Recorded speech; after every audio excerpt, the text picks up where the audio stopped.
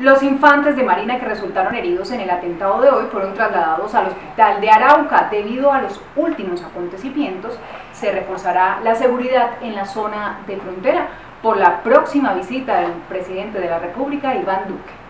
El secretario de Gobierno Departamental de Arauca se puso al frente del atentado terrorista contra la Infantería Marina donde resultaron heridos dos uniformados. Se convocará un Consejo de Seguridad extraordinario. Eh, pasadas las 2 de la tarde del día de hoy se presenta un atentado contra una embarcación de la Infantería de Marina que ejerce eh, la soberanía sobre el río Arauca, dando, eh, donde se salieron afectados dos oficiales de la Marina.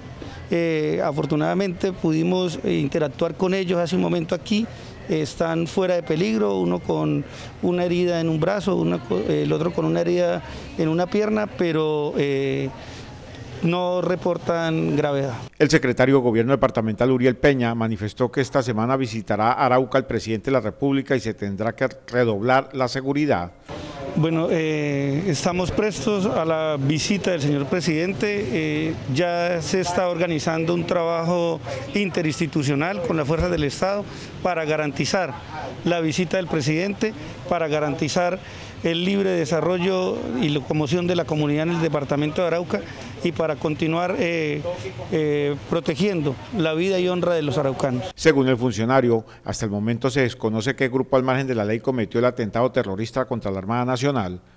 Como lo dijo el infante, el comandante de la Marina, no hay reporte oficial en este momento de quién, de cuál actor eh, generó este hecho, es materia de investigación, esperemos que se dé un reporte, pero lo que se sospecha es que obedece a, la presión que está ejerciendo la Marina y en los controles que se están haciendo para el tema migratorio en esta zona de la frontera. El reporte entregado por los galenos del Hospital San Vicente de Arauca es que dos infantes de Marina ingresaron con heridas de esquirla la afectación o el reporte que, se ha generado alrededor de este hecho lamentable es dos oficiales de la, de la Marina heridos, eh, uno en un brazo, otro en una pierna.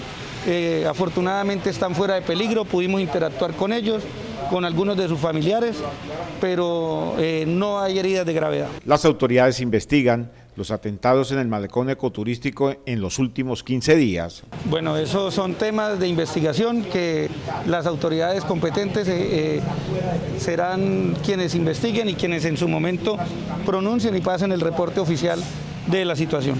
La Policía Nacional realiza una inspección al lugar de los hechos para verificar si la onda explosiva causó daños materiales. Esperemos el reporte oficial de la, de la investigación, de lo que estén haciendo la policía en el sector. Eh, están ellos ejerciendo el control, haciendo levantamiento de información. Esperemos un reporte oficial. En las próximas horas se podría convocar a un Consejo de Seguridad extraordinario para analizar la alteración del orden público en la capital araucana.